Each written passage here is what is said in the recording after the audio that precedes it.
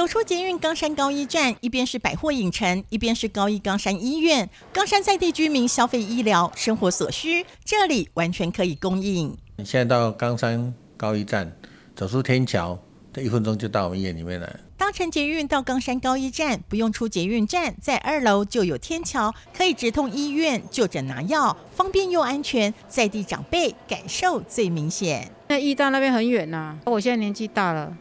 没那个体力跑到那么远呐，所以我今天就来这边啦。当然方便啦，离家近就好啦。高一冈山医院在四今年四月二十二号开始试营运，那目前已经有开了大概三十五个科别出来，那已经有一百一十七个诊间在启动。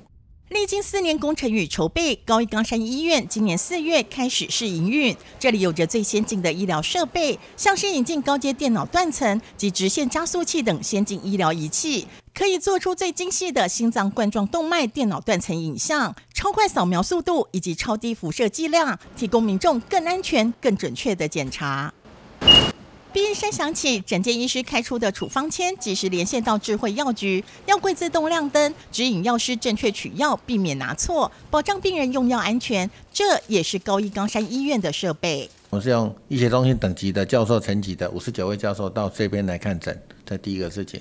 第二个，我们的设备是全新的设备。在第三个就是说，我们的收费是区域地区院的。收费，它的设置，它的科别也蛮多的，哈，那相对的会对一些老人家啊，好会比较方便，那也就近啊，就是说不用让大家哈一定要跑到市区去看诊。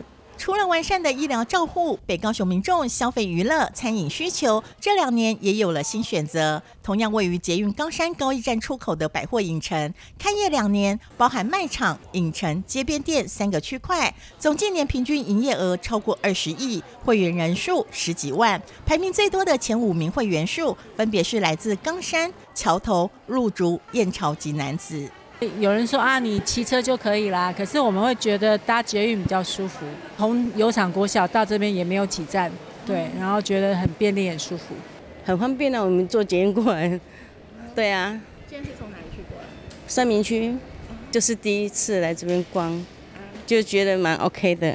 业者坦言，营运绩效早已超乎原本预期。这里的民众不止消费力高，而且用现金购物的比率也偏高。不止平日就有川流不息的人潮，遇到假日或是办活动，像是捷运冈山车站开通当天，就多出近两千位的来客数。而现在正逢暑假，影城的学生客群也很多。因为男子没有那个电影人。